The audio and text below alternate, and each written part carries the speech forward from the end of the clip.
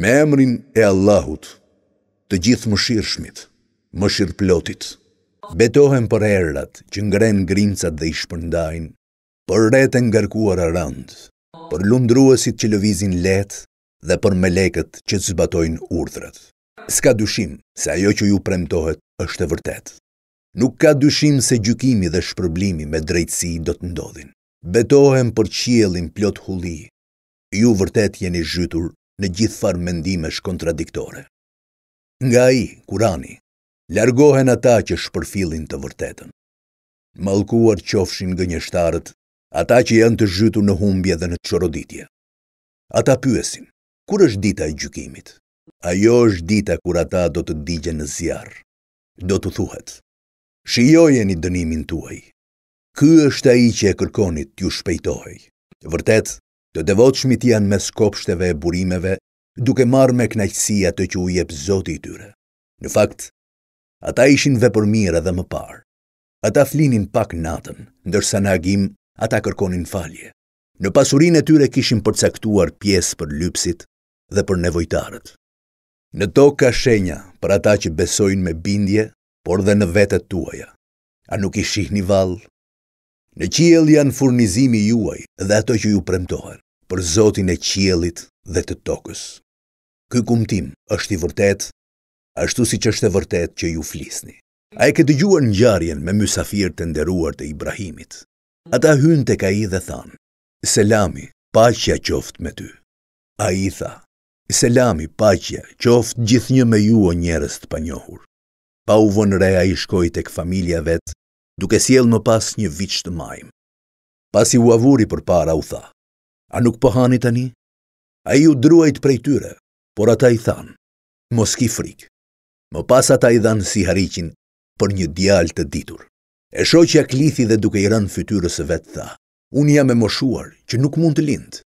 Ata i thanë, Kështu ka thënë Zoti yt, i cili është i urti e i gjithëdituri. Ai i pyeti, Cili është misioni juaj o të dërguar? Ata thanë, Ne jemi të dërguar për një popull të padrejtë, që të hedhim gurë prej balte të pjekur mbi ta, të shënuar nga Zoti yt për secilin nga ata që ka kaluar kufijtë. Ne i larguam të gjithë besimtarët që ishin atë vend, ndonëse aty gjetëm veçse një shtëpi të vetme muslimanësh.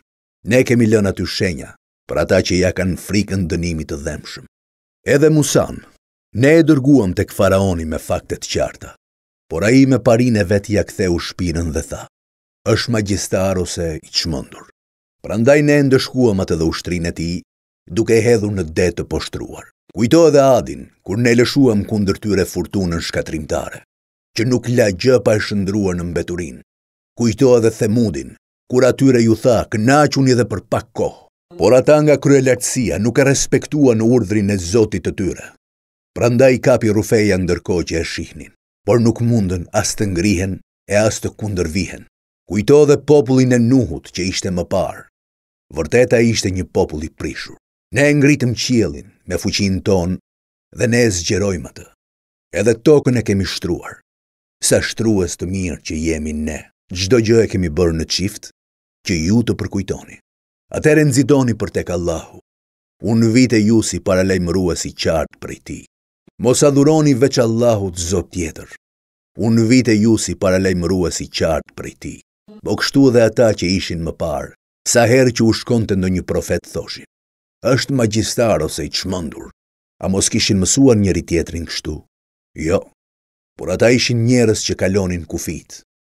Atëherë, largohu prej tyre, sepse ti nuk fajësohesh për ta, por ti përkujto, sepse përkujtimi u bën dobi besimtarëve. Unë nuk i krijova xhindët dhe njerëzit për gjë tjetër, por veç që të më adhurojnë. Unë nuk kërkoj prej tyre ndonjë furnizim, e as kërkoj që të më ushqejnë. Allahu, Ai është furnizuesi i madh e fuqiploti. Sigurisht, ata që bëjnë padrejtësi meritojnë të njëjtin lloj dënimi si sivëllezërit e tyre, prandaj të mos e kërkojnë shpejtimin e tij. Mjerë ata që nuk e besojnë ditën që u është premtuar.